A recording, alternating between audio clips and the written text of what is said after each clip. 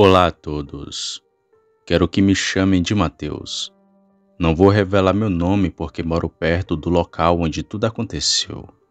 Apesar de não ter visto tal fato, fiquei com medo depois de ouvir aquela história do meu amigo, pois estava junto com ele naquela noite em que um lobisomem assombrou o TG.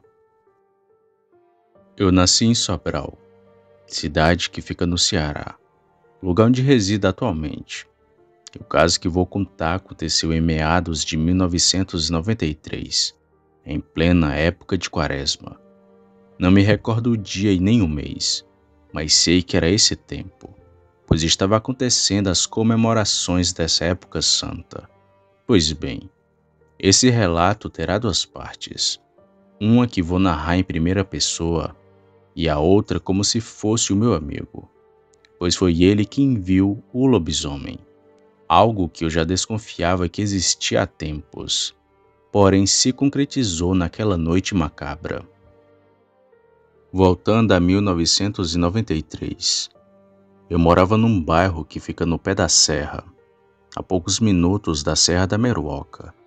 De lá para vir para o TG era muito longe, sem contar que nem eu, e nem o meu pai tínhamos moto ou carro para se deslocar tantos quilômetros.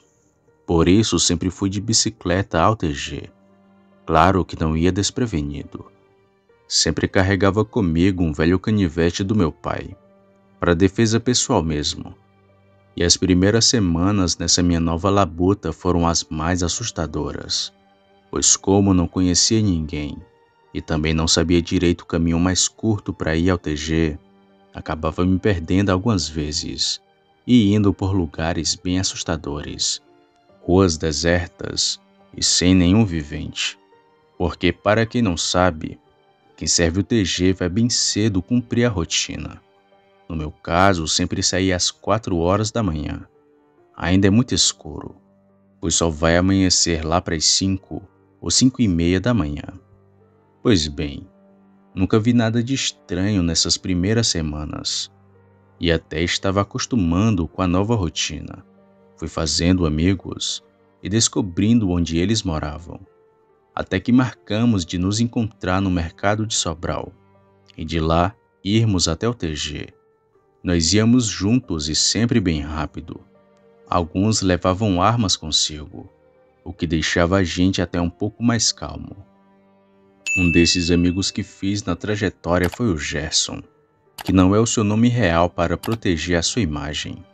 O Gerson morava num bairro mais próximo do TG e era do mesmo pelotão que o meu. Ele era o tipo de pessoa que teve que amadurecer muito cedo. Naquela época, apesar da idade, ele tinha uma filha e já era casado. Trabalhava fazendo tijolos e também na construção civil. Hoje em dia nem sei por onde ele anda. E dentre nós o Gerson era o mais cabeça, o mais maduro para simplificar.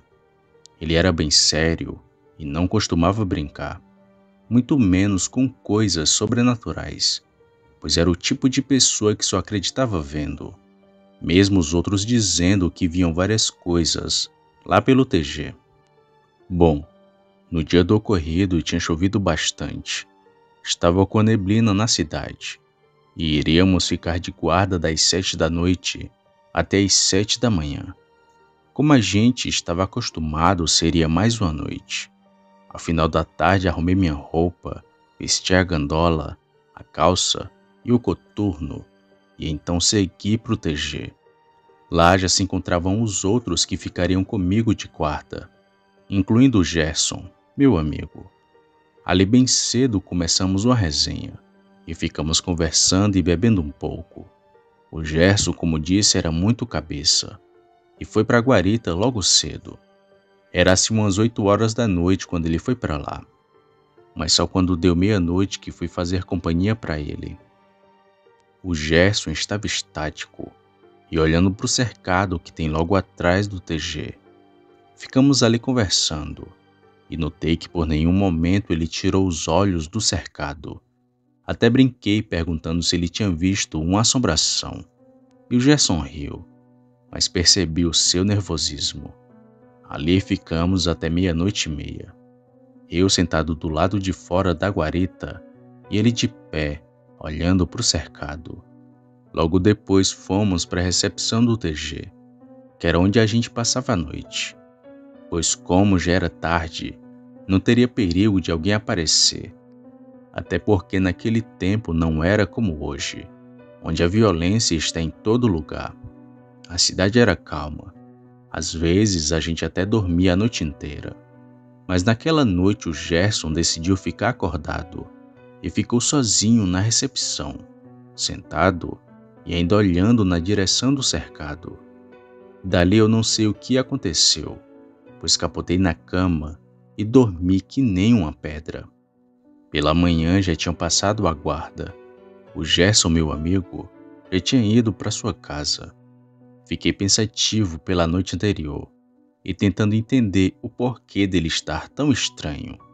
O Gerson era calado, mas naquela noite ele estava mais calado ainda e também com muito medo. Fiquei curioso com o caso do meu amigo. Eu até perguntava, mas nunca recebi uma resposta. Até que depois de meses, ele me revelou o que aconteceu naquela noite. Eu até preferia não ficar sabendo sobre isso, já que depois fiquei com medo de vir proteger. Bom, já estava no mês de agosto. Teve uma confraternização do Dia do Soldado futebol, bebida. O pessoal estava se divertindo no TG. E lá estava eu perguntando para o meu amigo sobre aquela noite, até que ele me contou sobre o caso. Tu acredita em lobisomem, Mateus? Disse o Gerson olhando bem sério para mim. Arregalei os olhos e disse que sim. E então ele continuou falando. Sabe naquela noite em que a gente estava de guarda? Pois é, eu vi um lobisomem naquela noite, bem ali atrás do cercado, e estava olhando para mim. Era cedo quando cheguei para ficar na guarda. Do trabalho vim logo para cá. Ainda era dia, quando vi um homem indo para dentro daquele mato. Ele passou por fora do TG e seguiu para aquela região de mata. Eu não estranhei porque o homem poderia ter ido caçar ou fazer alguma outra coisa por ali. Só que anoiteceu e ele não tinha voltado. Foi quando fui para a guarita que dá para ver melhor a região, mas nada daquele homem voltar. Quando foi assim por volta de umas 11 horas, percebi uma coisa se mexendo no mato. Mirei o olho naquilo para ver melhor, só que rapidamente sumiu para dentro da mata. Me arrepiei todo quando vi aquilo e comecei a ficar com medo, pois seja lá o que fosse, estava me observando. Sabe-se lá desde quando. Foi quando tu veio e ficamos conversando, e não vi mais aquela coisa. Quando entramos, eu ainda fiquei acordado, só olhando ali para a direção do cercado. E quando foi assim por volta de duas horas da manhã, o bicho novamente apareceu. Parecia um cachorro grande, Mateus, mas a cabeça lembrava de um bode. Boca larga, sabe? Seu tamanho não deu para ver, mas ele estava botando a cabeça na terceira fiada do arame da cerca.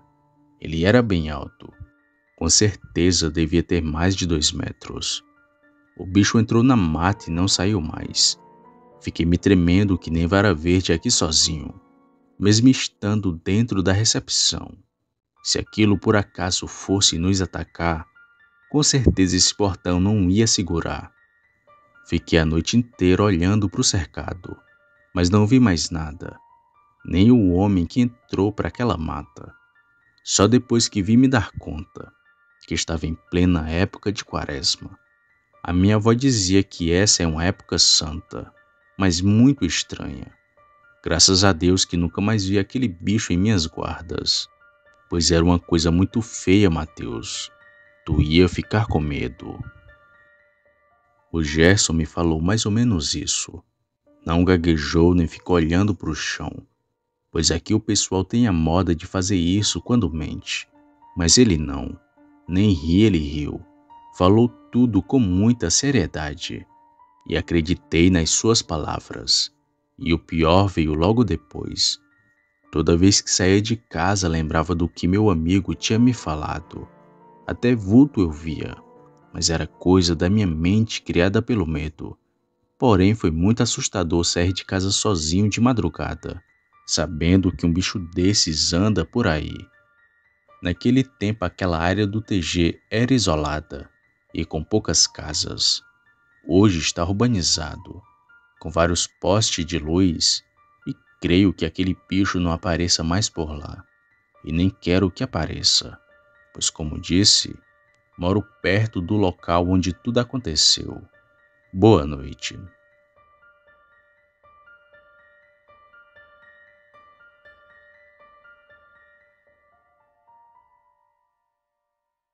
Opa, e aí? Se você chegou até aqui, significa que gostou do vídeo ou que me aturou por longos minutos. Mas se tiver gostado, lhe convido a se inscrever no canal. Basta apertar no botão vermelho abaixo, esse que aparece na tela. Ative também o sino das notificações. Fazendo isso, você sempre será avisado quando sair vídeo novo, já que postamos diariamente. Deixe o like para fortalecer o canal e compartilhe o vídeo para que outras pessoas vejam e assistam. Fazendo isso, vocês não só estarão ajudando o canal, mas também a mim. E se fez isso, muito obrigado.